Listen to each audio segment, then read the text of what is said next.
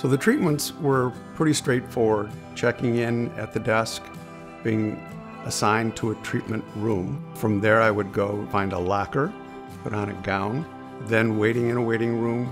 The radiation technologist would call me in. I would come in, get on the table, and then the treatment took about two minutes. That was all it took. It was very, very simple, very straightforward. At the end of your treatment on your first day, and sometimes we might need to give you new marks during your treatment as well, we do that with Sharpie marker and then we cover them with a clear band-aid like sticker called the Tegaderm. I would bring anything that brings you comfort. I always wore a bracelet that kind of was given to me by my family at the beginning of treatment. So anything like that that you can hold on to throughout treatment is important. For some, I know it just made me feel a little bit better. I would regularly bring only my phone and my keys with me into the treatment area. I left all my valuables in my car locked up. Uh, I know some people would bring material to read, newspapers or books but usually the wait was very, very short and it didn't make a lot of sense to bring too much with me.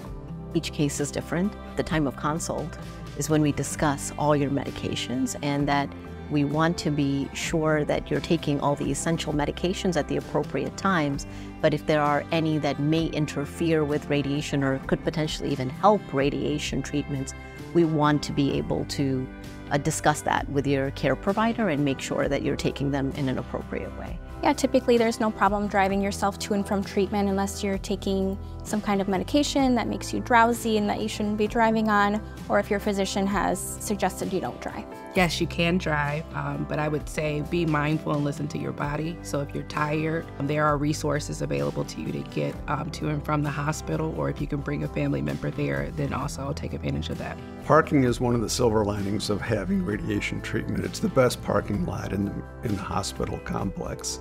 It's free. It's right outside the, the doors of the radiation oncology department.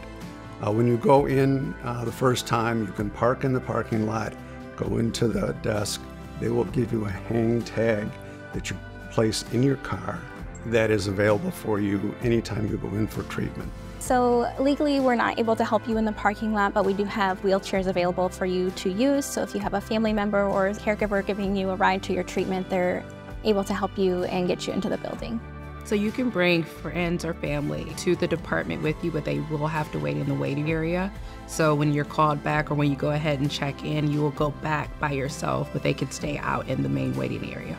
And if it is a day that you're uh, scheduled to see a physician, you can bring them back with you. But we try to make it as accommodating as possible. If there are any special needs or circumstances that come up, obviously we can work with you to make sure that it's as comfortable of an experience as it can be.